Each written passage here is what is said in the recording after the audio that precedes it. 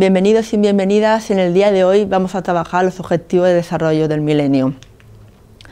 Para esto vamos a comenzar con la conceptualización, seguir con, los seguir con los valores, compromisos, objetivos del milenio y acabaremos con los resultados. ¿Qué son los objetivos de desarrollo del milenio?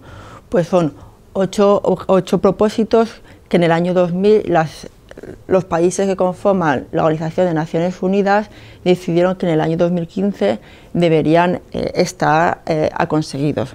Estos objetivos son objetivos que tratan problemas de la vida cotidiana.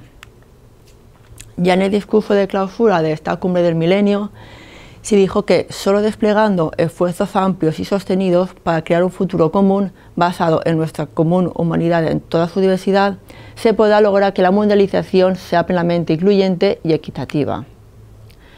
¿Qué valores tiene esta cumbre? Libertad, igualdad de individuos y de naciones, solidaridad, tolerancia, respeto a la naturaleza y responsabilidad compartida. ¿A qué se comprometieron estos países?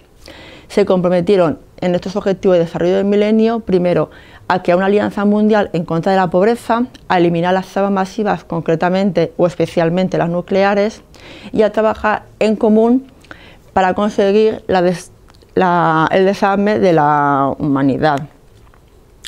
¿Cuáles son los objetivos del milenio y qué metas tienen? Pues los objetivos del milenio son erradicar la pobreza y el hambre,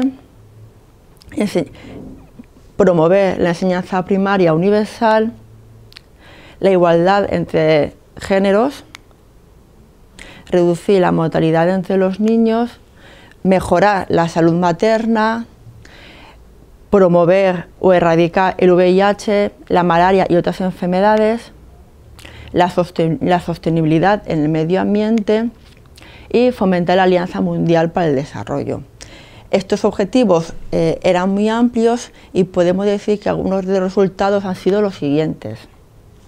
Se ha reducido la cantidad de personas que viven en pobreza extrema, ha aumentado la cantidad de personas de una clase media, ha disminuido las personas que viven con una nutrición insuficiente y ha aumentado la cantidad de niños que van a la escuela primaria, siendo que están en edad escolar.